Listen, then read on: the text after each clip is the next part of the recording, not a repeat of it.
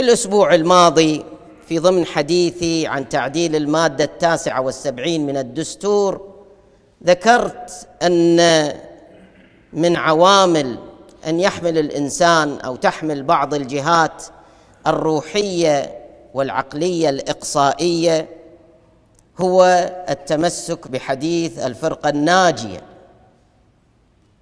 حديث اثنتين وسبعين فرقة في النار وفرقة واحدة في الجنة.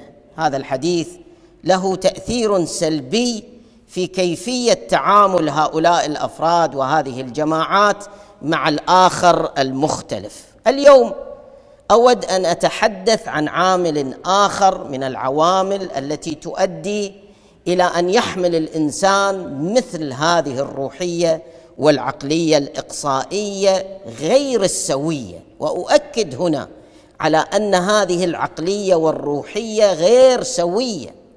الله سبحانه وتعالى يبين لنا في القرآن ما هي الغاية من التنوع بين البشر. يقول عز وجل يا أيها الناس إنا خلقناكم من ذكر وأنثى وجعلناكم شعوبا وقبائل. هذا التنوع مقصود من عند الله عز وجل. أما كيفية التعامل مع هذا التنوع ما هو الموقف من عند الإنسان تجاه الإنسان الآخر المختلف؟ تجيب الآية لتقول لنا وترشدنا إلى هذه الحقيقة لتعارفوا إن أكرمكم عند الله أتقاكم إن الله عليم خبير. هل في هذه الآية أي حديث عن الإقصاء والإلغاء للآخر المختلف للآخر المختلف أم هو حديث عن التعايش والتلاقي والتعارف؟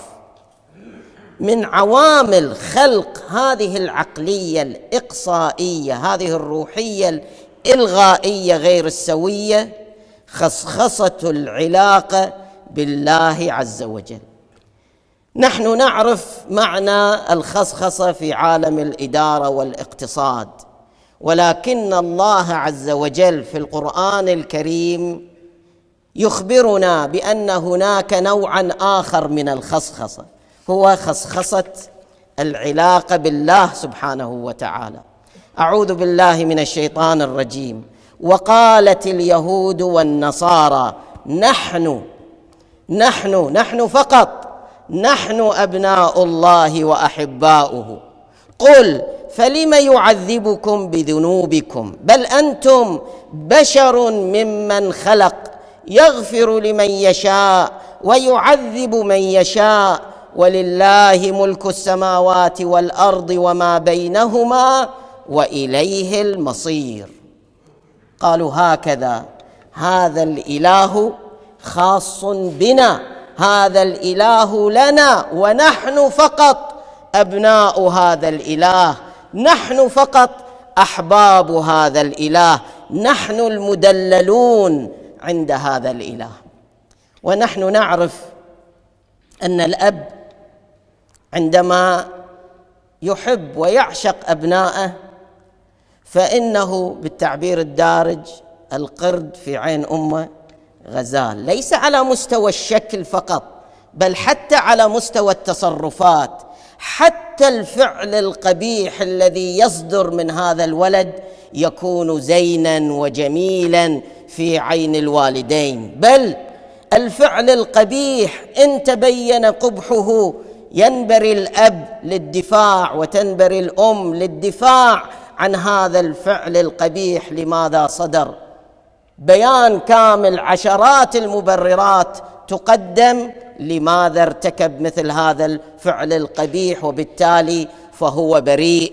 وقد يصل عند البعض بأن يجمل هذا الفعل القبيح بل ويدفع أبناءه إلى حد تحريضهم على الآخر. لربما صدرت كلمة من الآخر هنا الأب والأم يدفعان الإبن نتيجة الحب الشديد يدفعان الإب إلى أن يشتم ويضرب ويفعل كل ما يستطيع. العن والدينا مثل ما يقولون عن والدينا هذا اللي قال لك هالكلمة أو نظر إليك بهذا بهذا الشكل. لماذا يصدر من الأب هكذا أمر لأنه يدلل أبناءه لأنه يحب أبناءه بشكل كبير جدا. هكذا صوروا العلاقة علاقتهم بالله وعلاقة الله بهم.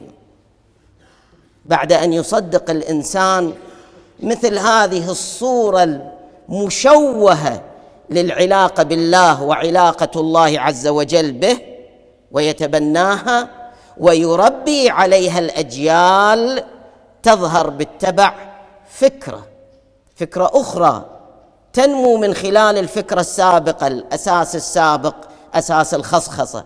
هذه الفكرة لها تبعات عملية سلبية. قال تعالى ومن أهل الكتاب من إن تأمنه بقنطار يؤديه إليك. هذا شيء إيجابي. ومنهم من إن تأمنه بدينار. مبلغ بسيط. لا يؤديه إليك إلا ما دمت عليه قائما. ذلك ما هو المنطلق. ذلك بأنهم قالوا ليس علينا في الأميين سبيل. ويقولون على الله الكذب وهم يعلمون. بلى من أوفى بعهده واتقى فإن الله يحب المتقين.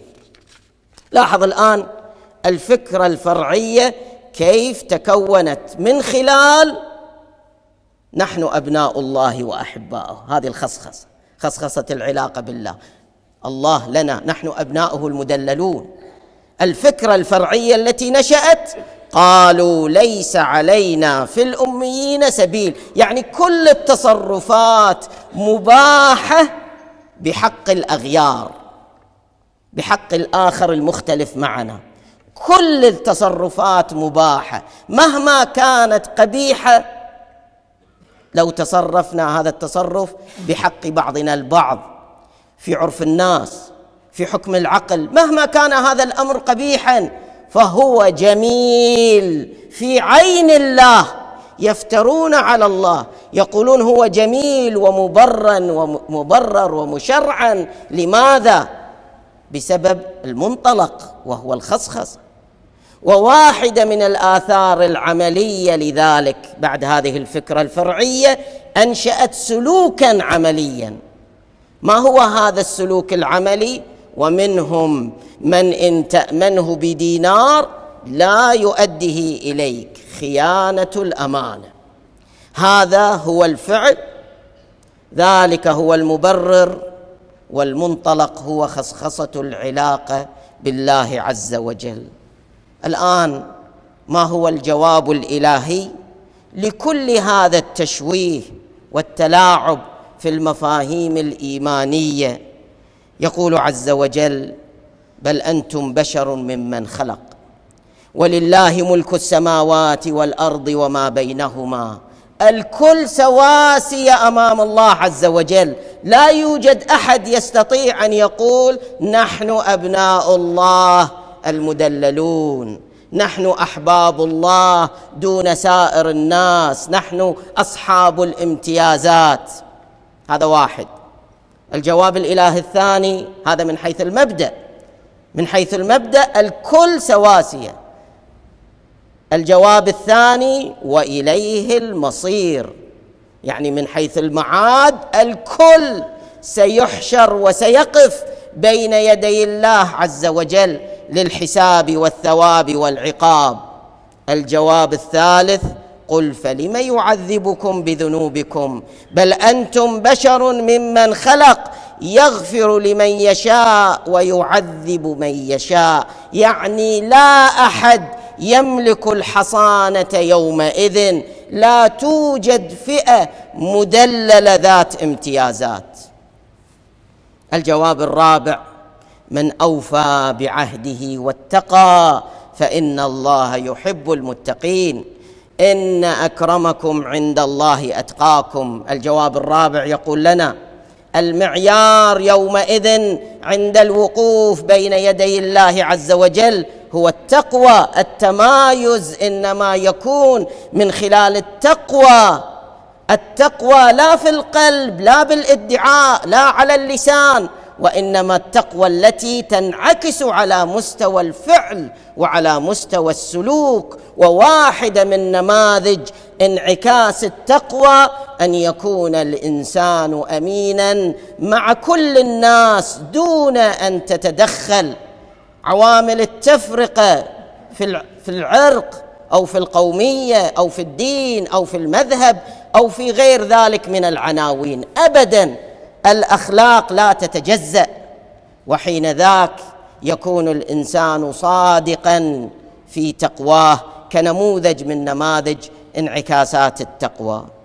إن فكرة نحن أبناء الله وأحباؤه لا تقتصر على اليهود والنصارى. فهذه الخصخصة في العلاقة مع الله عز وجل يتبناها كثيرون في الدائرة الإسلامية. وهي من أخطر منافذ الشيطان والنفس الأمارة بالسوء.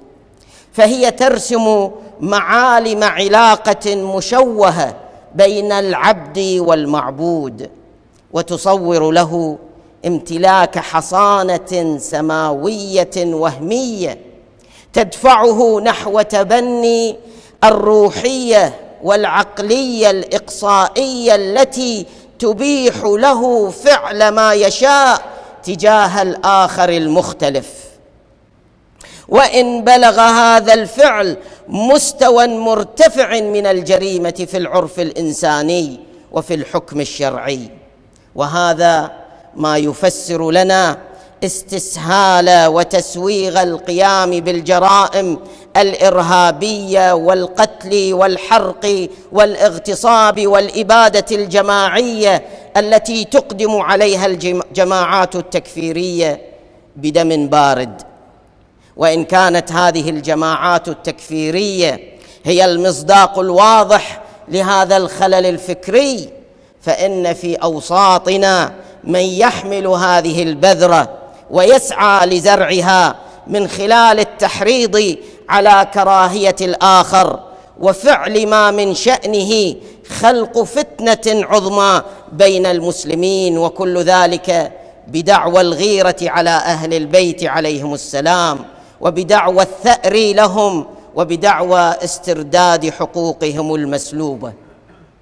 إن مسؤولية الانتماء إلى الإسلام تحتم علينا نشر ثقافة التعارف وتقبل الآخر المختلف دون أن يعني ذلك التخلي عن مسؤولية الدعوة ولكن بالحكمة والموعظة الحسنة.